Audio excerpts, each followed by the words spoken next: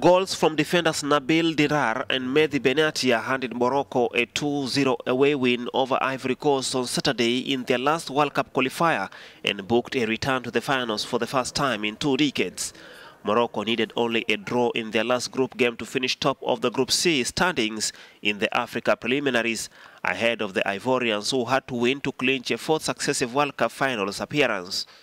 But after weathering an early storm, including a potential penalty call, Morocco scored two goals in the space of five minutes to put themselves on their way to the finals, in which they last appeared in 1998 in France.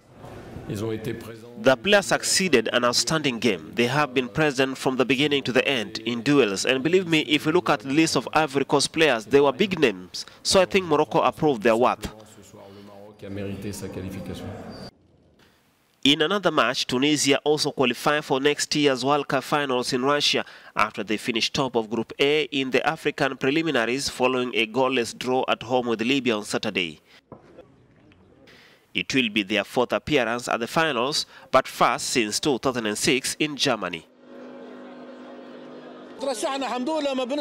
We qualified, thanks to God. Regarding the game, it was very difficult and very complicated. We thought Libya was like Italy defense. They have played this game with realism more than anything else. The most important thing was qualification. Senegal also qualified for the next year's World Cup after thrashing South Africa two goals to zero to become the lead at the top of Group D.